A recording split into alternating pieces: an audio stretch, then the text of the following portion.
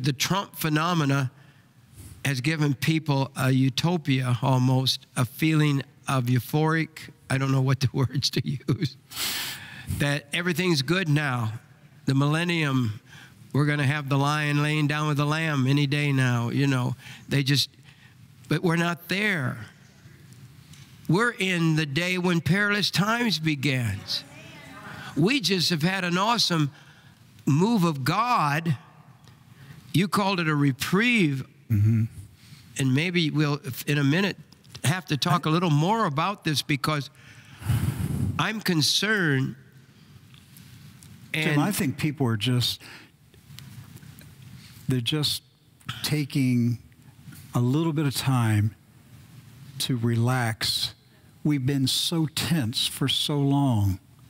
And, and I think I think we're all just enjoying life right now. That what the devil had planned for us was stopped. Yeah. And, and, and what I'm hearing the Lord say is come out of the bunkers, come out into the sunshine, and build. Use the time. See, we saw the storm coming and the clouds were getting darker and the lightning was flashing and, and it, this was a frightening storm and there was it looked inevitable that we were going to be hit yeah. and then all of a sudden the storm dissipated and, and, and moved away and the sun has come out and i think the lord is saying to his people right now come out and enjoy the sunshine but make hay while the sun shines. Yeah. Use the use the time, but you can relax. I mean, you can. We were under so much tension and fear and apprehension, and it was real. What they had planned for us was captivity. They were planning to put the church into captivity. That's right. And so we just as when the Bible they went into captivity. But this this reprieve is not to go to sleep. It it is to take advantage of the sunshine, and that.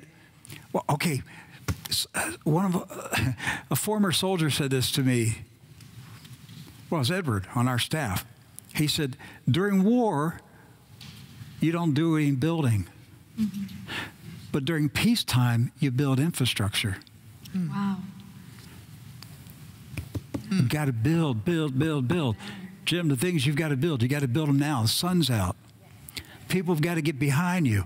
You, you need the resources to build. This is the time to build.